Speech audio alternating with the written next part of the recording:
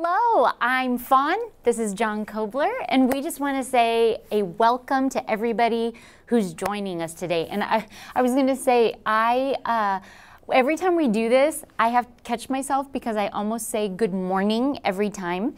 And I realize that not everybody joining is necessarily joining us in the morning, but it's one of those habits of like, for me, for, you know, 40 years, church has been Sunday morning. And just a reminder that the church is not a time slot on, on a specific day, but the church is the people and the people who are engaging with the presence of God. And so, wherever you are, hi, church.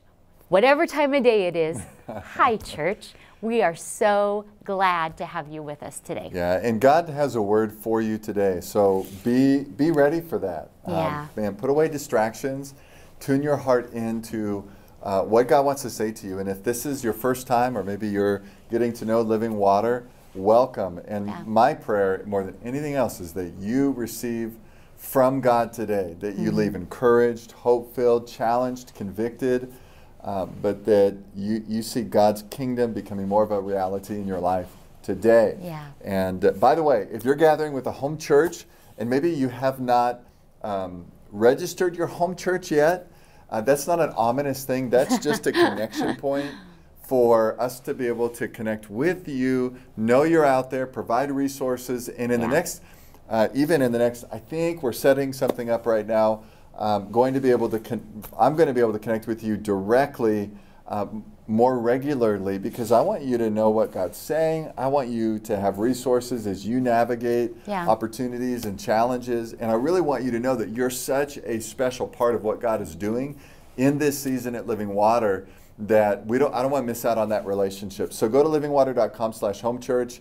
Let us know that you're out there, that you're meeting and you're gathering. Um, Sano will connect with you as well, and then we'll have more in the weeks ahead. So looking forward to that. Ready? Yeah. One of the things that we've um, done every week as we've come together in different places, uh, in different spaces, is come to the, the Lord's Supper. That's another way that communion is referred to because it reminds us and it centers us on what's most important, and Yeah. that's that, that Jesus is the center of it all. Hmm. And what a way to prepare our hearts as we um, get ready to give and receive from God's Word. Um, you may have picked up some of these uh, from the church, ordered them online, or maybe you have something else. But I'd encourage you every week as you come together that you would join uh, with the body of Christ, the church, all around the world, in coming to remember what Jesus has done. It's his broken body and his shed blood that make it possible for you and for me to know abundant life through him. Jesus said, Do this in remembrance of him. And that's what we want to do today. Let's receive of the bread.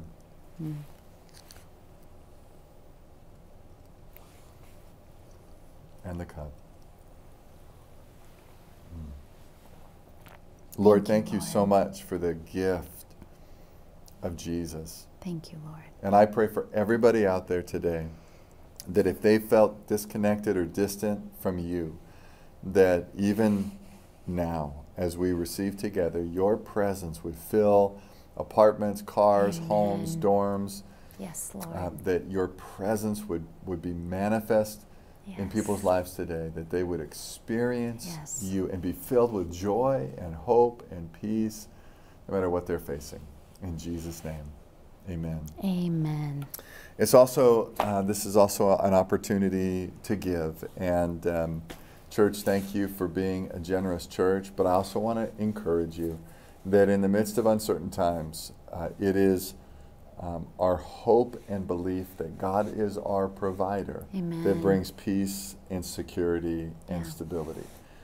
Now, you can believe that, and it's powerful. But when we actually lean into that belief, that's when it becomes profound. And giving and generosity is, is one of the ways that the church has done that for thousands of years. So um, be challenged. If you felt like you need to hold back, um, now's not the time to hold back from the Lord. And let God lead you in how that looks in your life. But man, now's not the time to hold back. Now is the time to press in in every part of your life Yeah. to what God has. So I'm going to pray for you as you give. You can text to give. You can go to livingwater.com. You can give through the app. Um, all of those are ways you can give. And um, I want to say thank you for those of you that trust Living Water to steward those funds in that way. So we're going to pray, and I'm going to Yeah. pray for you because you're preaching. Yes, I So, am. So, Father God, we thank you for the gifts that are being given. We pray for the community called Living Water that you would make a way and provide for every need represented, and and in that enabling your church to be a blessing Mm, to the city and the community in which we live. I pray for my bride, and I pray that the fire of God would fall Mm. as she preaches the word, and that your word would break down barriers and walls and Amen. fears and doubts, and uh, that as your word is preached, lives would be transformed in Jesus' name. Amen. Amen. You got this. Amen. Thank you. Hey, you. You want to take this? I'll just take these. Thank you. That was so thoughtful of you and so kind. I really appreciate it. well, we are uh, still in Matthew chapter 5. And this is, we're nearing the end of this series that has been focused on the Beatitudes, this opening of Jesus's famous Sermon on the Mount. And uh, the Beatitudes are, Jesus gives us this character sketch of what a true disciple, a true follower of Jesus looks like. And he basically says, those people who belong to my kingdom, those people who love me and are, are serving me, this is what their lives should look like. And, and these people who live this way are a blessed people. So I want to read those verses, all, all of them, and then we will talk about what we're talking about today. Matthew chapter 5, starting in verse 3. Blessed are the poor in spirit, for theirs is the kingdom of heaven. Blessed are those who mourn, for they shall be comforted. Blessed are the meek, for they shall inherit the earth. Blessed are those who hunger and thirst for righteousness, for they shall be satisfied. Blessed are the merciful, for they shall receive mercy. Blessed are the pure in heart, for they shall see God. Blessed are the peacemakers, for they shall be called sons of God. And here are the verses that we're focusing on today. Blessed are those who are persecuted for righteousness' sake, for theirs is the kingdom of heaven. Blessed are you when others revile you and persecute you and other, utter all kinds of evil against you falsely on my account. Rejoice and be glad, for your reward is great in heaven. For so they persecuted the prophets who were before you. You see a theme, this word that keeps coming up, right? Blessed, blessed, blessed, blessed. And um, I was thinking about this the other day because I have a necklace that I got at a conference that says blessed on it. And I actually have not worn it in about two years. I just wore it for the first time this week. And it has it has to that that thing in me that didn't want to wear it actually has to do with um, something that was kind of a, a hiccup in my own mind regarding that word blessed. Have you ever heard somebody say, "Oh, I'm I'm I'm just blessed. I'm so blessed." Usually, when someone says that, it's it's tied to something like, um, "Oh, that parking spot at the front by the door of the grocery store opened up. I'm so blessed." Or you go on a on a flight. You know, you fly somewhere on an airplane and you got bumped to first class. Blessed, right? Or maybe you have a science test and you didn't really study for it and then you passed anyway. And then you say, Oh, I'm just so blessed.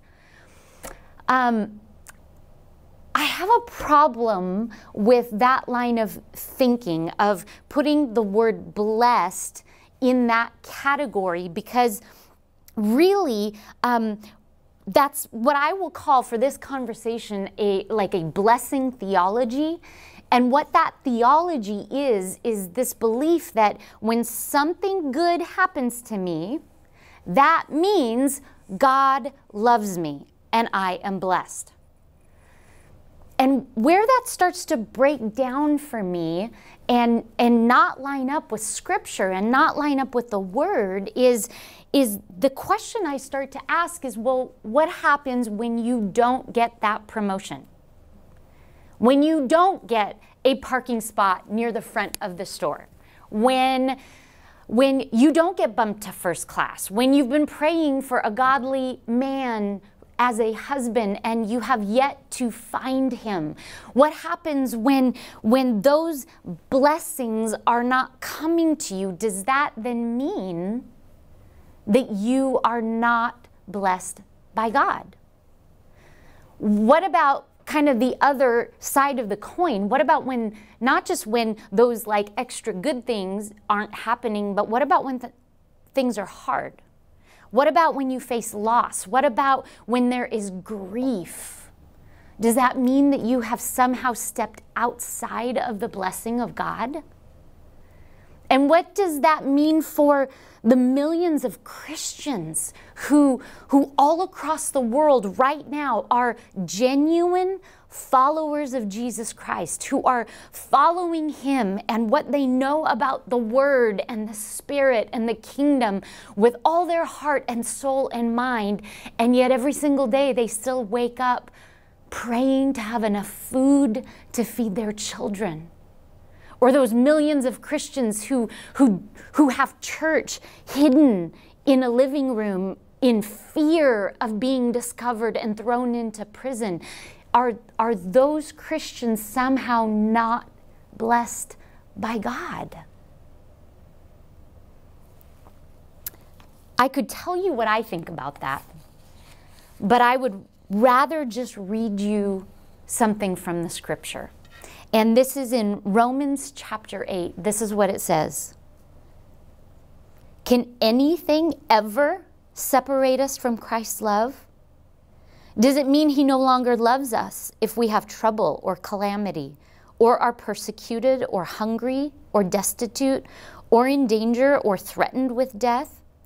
As the scriptures say, for your sake we are killed every day, we're being slaughtered like sheep. No. Despite all of these things, overwhelming victory is ours through Christ who loved us. And I am convinced that nothing can ever separate us from God's love. Neither death nor life, neither angels nor demons, neither our fears for today, nor our worries about tomorrow, not even the powers of hell can separate us from God's love. No power in the sky above or in the earth below. Indeed, nothing in all of creation will ever be able to separate us from the love of God that is revealed in Christ Jesus our Lord. So the answer is that the, Je- the, the, the blessing, the blessedness that Jesus is talking about here in Matthew chapter 5 has absolutely nothing to do with our circumstances. And there is no hardship or difficulty or loss that can ever separate us from God's love and the blessing that is found in Him. The blessing that Jesus is talking about has, has nothing to do with physical circumstances, and rather, it is this deep, abiding, unshakable inner joy that is found in Christ and completely separate from any circumstances that we may be experiencing. Now, what is at stake in not fully understanding that is really something big because if we somehow buy into the idea that blessing is happiness that's tied to good things happen, happening to us, then what's at stake is that when we face hard things, when we face difficulty, when we face persecution, then, then what happens is we begin to question two things. We will either question God's goodness or we will question our goodness. What do I mean by that? Well, maybe I just haven't quite measured up enough to earn God's favor and His blessing. And that, that is shaky ground to stand on. So it is really imperative that we wrestle through understanding the blessing and the love and the unshakable inner joy that is promised to God's followers.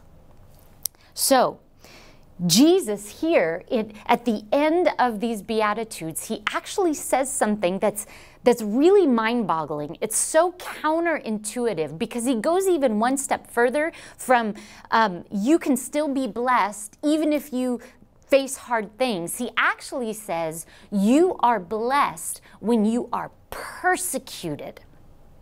And when Jesus says this, he, he states it in the passive um, perfect, which basically means it can be translated to say, Blessed are those who have allowed themselves to be persecuted. The idea of what he's saying is he's saying, You are a blessed people.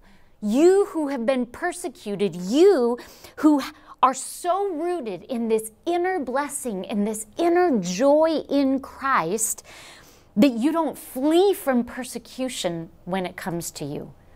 You willingly accept it and submit to it, still rooted in joy. That's incredible. Now, we have to pay attention because he says, um, Blessed are those who are persecuted, and not just for anything random. I mean, there are a lot of things that we can be persecuted for. And he says, Blessed are those who are persecuted. And there are two things that he says. Blessed are those who are persecuted for righteousness' sake, and blessed are you when you are persecuted on my account.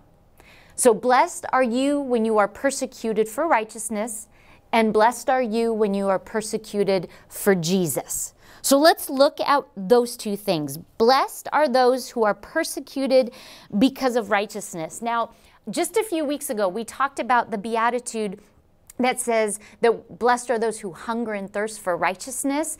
And in that, we dug into what righteousness means a little more. And, and for today, just a quick reminder righteousness is not just being a good person. Righteousness is a complete orientation of your life toward God, toward His will, and toward His priorities. So when your life is oriented fully toward God and His will and His priorities, and you are persecuted for that, there is still blessing in it.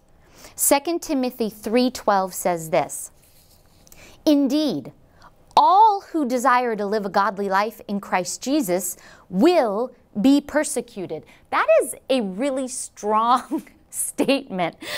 Um, let me say that again. All who desire to live a godly life in Christ Jesus will be persecuted, while evil people and, and impostors will go on from bad to worse, deceiving and being deceived. But as for you, continue in what you've learned and have firmly believed. So, Paul makes this really strong statement that anyone who desires to live a godly life is going to face persecution. There's no question about that in his mind. And the reason he believes that so strongly is because he understands that a life that is submitted to the standards and the priorities of Jesus will be a life that stands in opposition to the standards and the priorities of this world. What does that look like? Well, let me, let me paint this picture. If you make it your aim to pursue self control, your life will be an indictment of excess. If you live simply and with contentment, you will show the folly of craving luxury. If you choose forgiveness, it puts revenge to shame. If you walk humbly, you expose pride. If you are punctual and thorough in all of your dealings, you will lay open the inferiority of laziness and negligence. If you speak with compassion, you will sharply contrast callousness. If you are sincere, You will make things that are flippant actually look flippant instead of clever. If you are spiritually minded, you will expose the worldly mindedness of that that is around you. Now, it's important to understand and to remember that persecution does not always only come from those who are blatantly opposed to the things of God. As a matter of fact, Jesus faced most of his persecution from religious people, from the people who outwardly um, could sort of pull off looking righteous, and yet their hearts were far from God. So, what could that possibly look like? Persecution from, from the religious side? Well, if you show grace and love to sinners, that's going to push the button of people who are self righteous. If you persist in, in sticking to the whole counsel of the Word of God and you don't piecemeal the things that, that are the things that you like and discard the things that you don't like, if you stick to the whole counsel of the Word of God, it's going to anger people who like to pick and choose what they stand on. If you refuse to listen to backbiting and you refuse to participate in gossip, it might cost you the friendship of somebody that you've sat next to on a Sunday morning. And if, if any of those things, whether you face persecution from those who are against God, or maybe you even face persecution from people who are, fall into the religious category. Don't lose heart. Don't give up.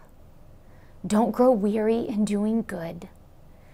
Because I promise you that the, the blessing that Jesus is talking about, the blessing that comes from aligning your life to the standards and the priorities of Jesus Christ and the Word of God, the blessing that comes from that is, is on another playing field than the temporary, fleeting benefits that come by aligning yourself with the standards of this world. I promise you. So don't lose heart. So Jesus said that that we're blessed when we're persecuted for righteousness' sake, when we don't compromise in that. But he also said that we're blessed when we're persecuted on his account, when we're persecuted for Jesus. Here's the truth Jesus Christ is a dividing line. This is what Jesus himself said I am the way and I am the truth and the life. No one comes to the Father except through me. Jesus Christ is not one of many ways. Jesus is the only way to the Father, the only way to heaven, the only way to a fulfilling, satisfying life. And when you make a decision to stand on that line and not cross and not compromise that, it will invite the persecution of people who are against that. Jesus will draw a dividing line. Now, um, I want to touch on two dangers that any of us who are trying to follow Jesus need to be aware of. If you're trying to follow Jesus with all your heart and you're trying to align yourself with righteousness and align yourself with Jesus Christ, then one of the things that we need to look out for is um, the danger of compromise. The danger of compromising in order to avoid conflict and rejection from people. And I often hear people say this. I've heard people say, well, I don't want to hurt people and I don't want to alienate people. And that turns into a lie that says um, my my love for people is preventing me from drawing a line for righteousness, drawing a line for Jesus' sake. And that's a lie because really what's underneath that, the root of that, is not a love for people, but it's actually a love for the approval of people that has exceeded your love for God. Galatians 1:10 Paul says this, if I were still trying to please man, I would not be a servant of Christ. We need to evaluate our hearts and look out for the temptation to compromise in order to avoid rejection. The second danger that we need to look out for is contention. We need to be careful and look out for purposefully stirring up contention in the name of righteousness. I have really strong feelings about this, um, especially in light of the, the climate in our culture, in our nation right now. But rather than telling you how I feel about it, I just want to read to you straight from Scripture. And this is um, in 1 Peter chapter 3, and which I find really interesting because Peter is this guy who, on the one hand, denied Jesus. He compromised his faith and what he believed in when he, he was afraid of rejection, he was afraid of repercussions for associating with Jesus. He fully compromised and denied Jesus. He's also the guy who cut off somebody's ear in the name of standing for Jesus. and he was subsequently rebuked by Jesus for that. Um, but listen to what he says. This is after Jesus is crucified and raised from the dead, and Peter is full of the Holy Spirit. This is what he says. Finally, all of you have unity of mind, sympathy, brotherly love, a tender heart, and a humble mind. Do not repay evil for evil or reviling for reviling, but on the contrary, bless. For to this you were called that you may obtain a blessing. For who does, whoever desires to love life and see good days, let him keep his tongue from evil and his lips from speaking deceit. Let him turn away from evil and do good. Let him seek peace and pursue it. For the eyes of the Lord are on the righteous, and his ears are open to their prayer. If you want God to listen to your prayers, you need to read this. But the face of the Lord is against those who do evil. Now, who is there to harm you if you are zealous for what is good? But even if you should suffer for righteousness' sake, you will be blessed. Have no fear of them, nor be troubled, but in your hearts honor Christ the Lord as holy, always being prepared to make a defense to anyone who asks you for a reason for the hope that is in you. Yet, do it with gentleness and respect, having a good conscience, so that when you are slandered, those who revile your good behavior in Christ may be put to shame. For it is better to suffer for doing good, if that should be God's will, than for doing evil. Jesus says in, in these Beatitudes, He says that we are blessed when we are persecuted for righteousness and for standing with Jesus. He does not say that we are blessed when we persecute other people because we don't agree with them, because we don't like them, because we don't like the way they live their lives. He also says in those Beatitudes that we're blessed when we are accused falsely. So, if we're being persecuted for acting like a jerk, if we're being persecuted for stirring up division, for marginalizing people that we don't understand or don't like or don't agree with, there's no blessing when we face hardship for the unrighteous behavior that we are living. There is no blessing when we are facing hardship that we bring upon ourselves for unrighteous behavior. It's really interesting if you um, if you go back and look at one of the very first beatitudes, the first beatitude, blessed are the poor in spirit. It's really interesting because the poor in spirit and those who are persecuted, they share the same reward, the same promise. Blessed are the poor in spirit, for theirs is the kingdom of heaven. Blessed are those who are persecuted, for theirs is the kingdom of heaven. That's not a coincidence. And so think about it. The, the poor in spirit, the poor in spirit is somebody who understands the depravity of their own sinful soul.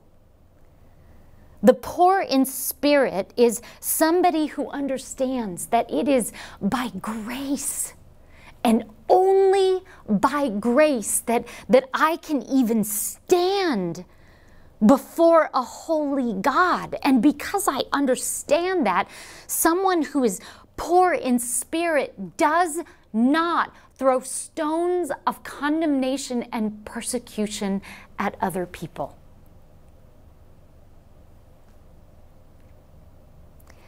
Jesus is 100% truth and he is 100% love. He's not 90% truth with a little bit of love or all love and a tiny bit of truth. He, he is all truth. You cannot change what the Word of God says. You cannot compromise what the Word of God says. He is all truth, but He is also all love. And we can't pick and choose the parts of Jesus that we want to focus on and we want to be like, and then just disregard the things that are hard or that we don't like. And if we're having trouble being a people who are both truth and love, if we are finding ourselves angry and throwing stones at other people, especially in, in this season right now, this is, this is what I would ask you to do. Not listen to me. What I would ask is that you would spend some time and you would ask the Lord to show you if, if you are a person who is poor in spirit in every part of your life.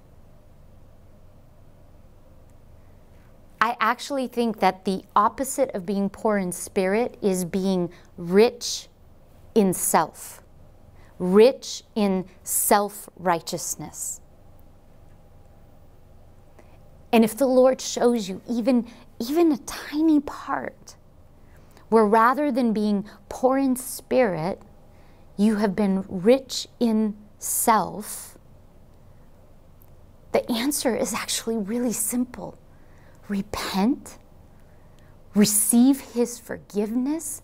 And as I've been praying for you, praying for this message this week, this is what I believe in my spirit that for any of us who the Holy Spirit will reveal to us a place where we have been not poor in spirit, but rich in self.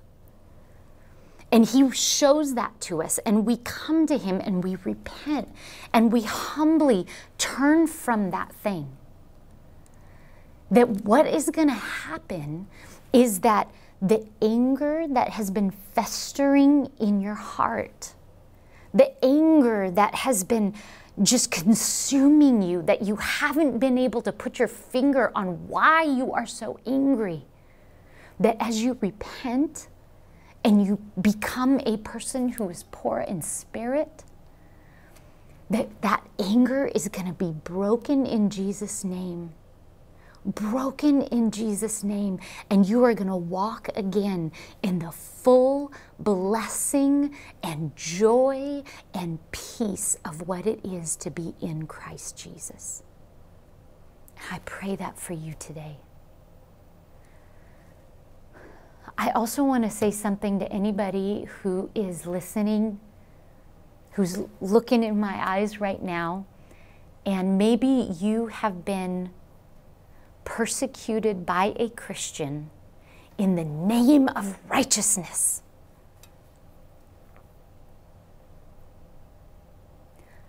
I'm really sorry. I am so sorry that, that you've been hurt. And I don't make excuses. All I know is that that every single one of us are, are always in danger of, of going more toward the flesh than the spirit. All of us are always in danger of being deceived by the enemy instead of listening to the truth. All of us have to constantly fight to be a good representation of the heart of Jesus. None of us are perfect.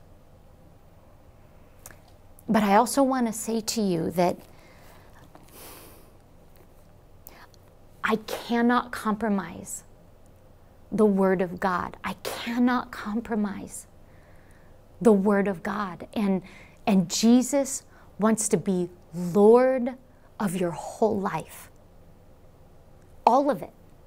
He wants to be Lord and have authority over every decision you make, over the things that you love, over the places that you that you th- place your mind, the thoughts that you think.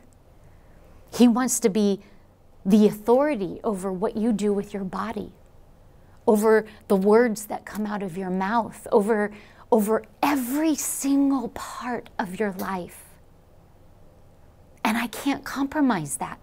That is the truth. He is the way and truth and life. No one comes to the Father except through Jesus. He's all truth. And yet, today you need to hear that He is so very kind. And He's so very gentle. And He is forgiving. And if you come to Him today with your brokenness, with your sin, if you are able to acknowledge the ways that your life has been outside of the things that God calls good, and you acknowledge that before Him and you ask for His forgiveness, you declare that you believe that He is the Savior of the world and that what He did on the cross is for you, and you accept that and receive that, and you place Him over your life in every way, then today you can walk in the fullness of His forgiveness, the fullness of His salvation, all the blessings that belong to the children of God can belong to you. And right now, I pray for any man or any woman right now who is in that space who wants to give their life to Jesus Christ today. I pray that it would that it would happen in this moment that as they confess their sin and their brokenness, as they confess that they believe that Jesus Christ is Lord, as they receive the forgiveness that comes through Jesus Christ and they give their lives to you, that they would now be filled with the fullness of the blessing of being a son or daughter of God. That they would be filled with, to the fullness of the Holy Spirit in Jesus' name. Amen. The last thing that I want to say is um, for everybody, everybody who is following after Jesus, whether you just started that journey right now or this is just part of your journey. You've been following him and you're continuing to follow him. Right after the Beatitudes, right after he finishes this whole thing about blessed, blessed, blessed, these are my people. This is what they look like. You can, you can recognize them because this is how they look. Right after that, in the next several verses, Jesus calls us, his followers, his believers, the light of the world. And he tells us to let the light in us shine so that the world around us can see our lives and give glory to the Father. You are called to live your life in a way that shines the light of Jesus everywhere you go. And the truth is, some people have a closed heart, they don't want to hear it, and, and they may persecute you. But some may have an open heart. And when they see the light of Jesus in you, they are going to be drawn to Him. And we need to be ready to have an answer for the hope that is in our lives. At the very end of this, Jesus says, if you're persecuted, if the light of who you are is seen by other people and they push against it, this is your response rejoice and be glad. what? Yeah, rejoice and be glad. And I'm actually going to talk more about that next week. So come back and tune in. But it says you can rejoice and be glad. And there are two reasons. One, because great is your reward in heaven. And two, because when you're persecuted, you're joining the throngs of all the men and women who have gone before you who have also been persecuted. You're in good company. So today, as you ponder letting the light of Jesus shine to the world around you, this is how I want to close. I want to read something to you. It's actually an article that I found um, that was written a few years ago, written by a pastor, and it was commemorating the 60th anniversary of the death. Now, this is going to be interesting, but the death of five young missionary men. They died in 1956. And he wrote this article to commemorate their deaths and, and what happened through their deaths. Some of you may know this story. These men's names were Jim Elliot, Nate Saint, Ed McCully, Peter Fleming, and Roger Youderian. Now, I cut some of the, the article down because I wanted to shorten it, but I want to read this to you. The story is one of tremendous inspiration and faithfulness. These five young family men learned about an unreached group, the Auca Indians, living in the thick jungle of remote, remote Ecuador. The Lord placed a great personal burden in their hearts for these people who'd never heard the gospel. They knew that they must do something or risk disobedience to the Lord. So they relocated their young families from comfy American suburbia to the unfamiliar vistas of South America. Through great financial expense and perseverance, they creatively made contact with the Aucas, assuring them that they were not a threat. As inroads with these as of yet unreached people were made, the missionaries and their families were encouraged. The men eventually landed their small plane on the almost hidden beach near the tribe and made documented contact with a few curious members of the group. God's mission in their lives was becoming a glowing success. And then tragedy struck. Contact was lost with the missionaries. And a few days later, an armed team from Life magazine found their speared bodies in the riverbed. Clearly, each man and each family had given their very all. But what now? What do you do with that kind of outcome? If their mission was of God, where was He? Where was His protection? Shouldn't their ultimate sacrifices have been met with victory? Was any of this fair? Why did something this bad happen to people so good? Jesus never promised that the ultra faithfulness of his followers would be met with the applause of others or the awards of earthly success. Yet, he never blinks when he calls each of us to pick up our crosses daily, surrendering our will and our glory for his. Theologian John Piper reminds us by saying, Our calling as Christians is not to stay alive, but to stay in love with Jesus. What happened to the tragically disrupted outreach to the Auca Indians?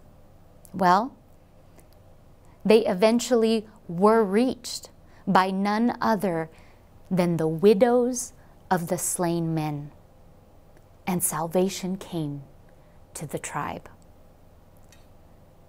For those of you who proclaim to follow Christ, there are no guarantees of a struggle free existence here in this life, but remember, our reward is not in this world. Our reward is not in the place in which God calls us to be strangers. Our ultimate celebration and crown is in the kingdom of heaven. And so I leave you with the words of Jim Elliot, one of those five missionaries who gave his life. He is no fool who gives what he cannot keep to gain what he cannot lose. Amen.